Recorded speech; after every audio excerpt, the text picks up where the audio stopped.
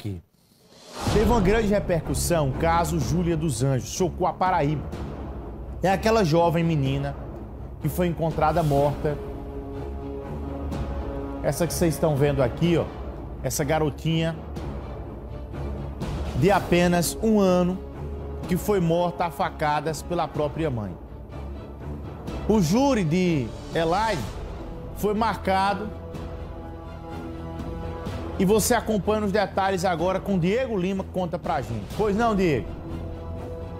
A gente vai conversar com o promotor desse caso, o doutor Demétrio Castor. Esse caso, a Júlia de um ano, que foi morta pela sua mãe com várias facadas. Ela confessou, não é, doutor?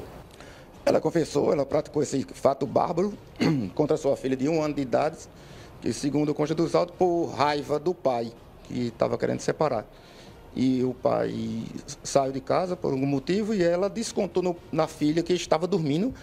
As fotos que me chegaram, ela, a criancinha Júlia, de apenas um ano de idade, nesse berço que vocês estão mostrando aí, e ela apenas de fralda, a mãe deu logo uma peixeirada nas costas que fez com que a filha gritasse e em seguida deu mais 12 ou 13 facadas. Seguida, logo depois disso, ela foi confessar. Ela se dirigiu à cidade da Polícia Civil, confessou, os agentes não acreditaram no que ela tinha feito e foram com ela até a casa dela, o apartamento dela, e aí constataram a barbaridade da cena. É, doutor Demétrios, o Ministério Público pediu a condenação para a mãe que fez isso com a filha, é, pediu acusação de quais crimes e qual o tamanho máximo da pena que pode chegar caso ela seja condenada de acordo com a solicitação do Ministério Público ela já está condenada por vida por conta do remorso. Creio que essa mãe ela está com remorso por, por resto da vida. A tipificação da denúncia e reconhecida na pronúncia foi 121, parágrafo, parágrafo 2 inciso 1 que é a torpeza, que é a vingança.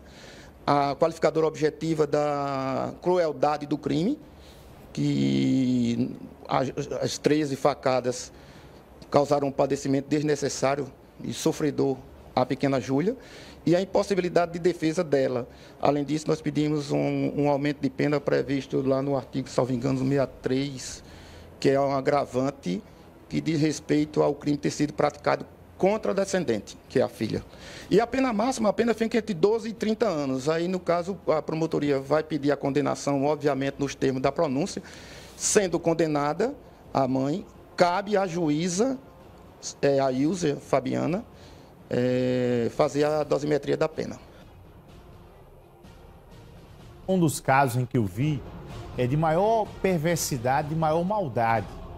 A pequenininha, essa garotinha, eu lembro nesse dia do acontecimento, eu estava na cidade de Araruna.